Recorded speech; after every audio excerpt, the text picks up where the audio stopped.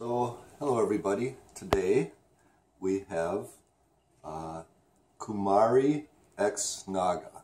So, PJ Towner gave this to me. Thank you. Well, it was part of a box I bought from him.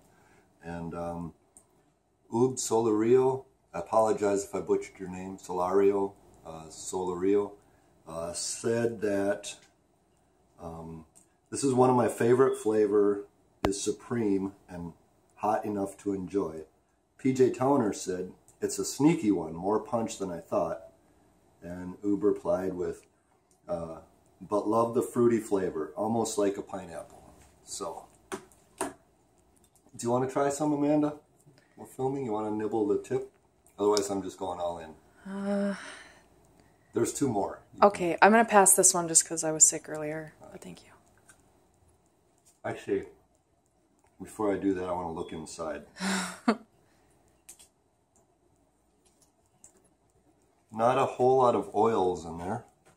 Not a whole lot of seed, like a, a tripod placenta sort of thing.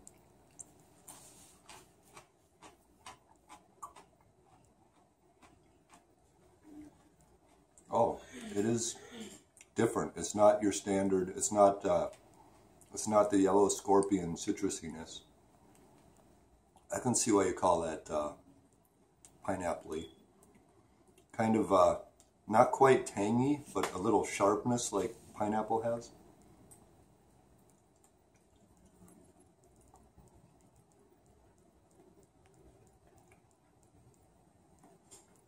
Mm.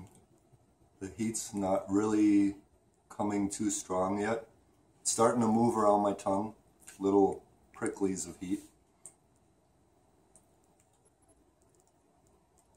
Yeah, I don't know that I've tasted anything like that before. It's kind of, uh, it's not quite cayenne. It's not quite scorpion, somewhere in between there, as far as that flavor and the heat. I don't think it's getting any higher. Full mouth glow, no throat heat at all. That's really nice. I've been getting a lot of throat heat from peppers lately, and that just gets tiring after a while. um,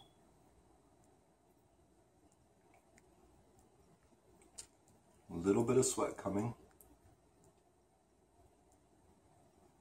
Not much. Real, real pleasant. Um, it's a fun little mouth explosion. It's not a. It, its kick isn't a, like a punch in the throat or anything. It's it's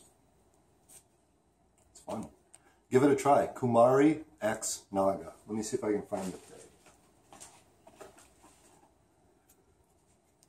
Cumari X Naga. And if, uh, if, uh, whatever. Wow, I think it's done. Um, a little bit of inner lip heat. Just started to start releasing saliva, but then it stopped. So, um, awesome. I like it. That's a that's a fun little pepper. Thanks, PJ. Thanks. And uh, thanks for the uh, the recommendation on giving it a try there with your with your comments about the fruity, awesome flavor and the pineapple, um, Mr. Solario. Very cool. Thanks, guys. Later.